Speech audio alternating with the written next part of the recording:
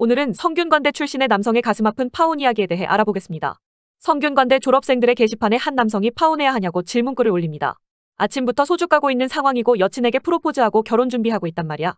근데 어찌저찌 알게 됐는데 여친이 성인방송 BJ였다고 하더라. 두 달 뒤에 결혼인데 어떡하냐. 근데 어이없는 건 마음이 접어지지 않고 그냥 덮어주고 결혼해버리고 싶다는 거임. 이라는 놀라운 글이 올라옵니다. 그리고 수많은 남성들은 성인방송 BJ는 의존증 존나 심하고 우울증 있다 그러던데 그걸 결혼할 거냐. 라는 식의 폭풍 같은 조언을 해주지만 이 남성은 결혼하고 싶다 말을 하고 있죠. 그리고 저는 여러분께 그런 식의 BJ를 하는 여자들이 어떤 식으로 생각하는지 보여드리겠습니다. 놀랍게도 여성시대에서 이런 류의 토론은 아주 활발하게 이뤄지고 있고 여시들은 양심 다 빼고 돈만 많이 벌 수 있으면 OnlyFans나 라이키 같은 살짝만 가린 영상으로 돈 벌 수 있어. 나보다 능력도 학벌도 안 좋던 애들이 승승장구하는 거 보니까 현타 와서 나도 해보고 싶어. 라는 글을 쓰며 이 내용에 대해서 이야기를 하고 있고 이렇게 돈 번 애들이 늘상 해외여행 가고 명품 바르고 인맥 쌓아서 돈 많은 남자 만나서 잘 먹고 잘 살더라. 그 돈으로 명품 사고 부모님 용돈 주고 해외 크루즈 여행 다니고 파인다이닝 먹고 너무 부러워. 라는 식으로 여행 다니고 오마카세 명품 허세를 할 수 있어서 부럽다고 말하는 우리 여성시대 회원들. 그리고 실제로 과거 BJ했던 여시인데 인간은 적응하는 동물이라 금방 그 생활 청산할 수 있어. 난 4년 전 시작해서 3년 만에 6억 벌고 그만뒀단 말이야. 솔직히 BJ 그만두고 다시 어린이집 다니는 거 쉽지 않았어.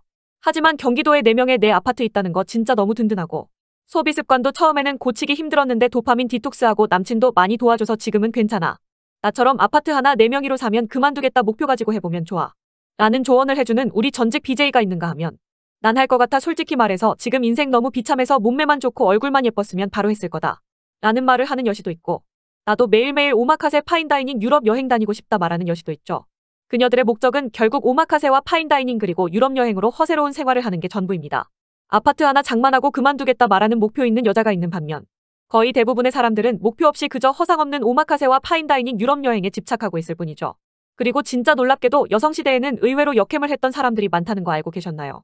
뭐 어차피 결말은 여러분이 예상하신 것과 별로 달라지는 거 없이 그런 결말이 일어났죠. 어째서 그렇게나 오마카세 파인다이닝에 집착하는 걸까요?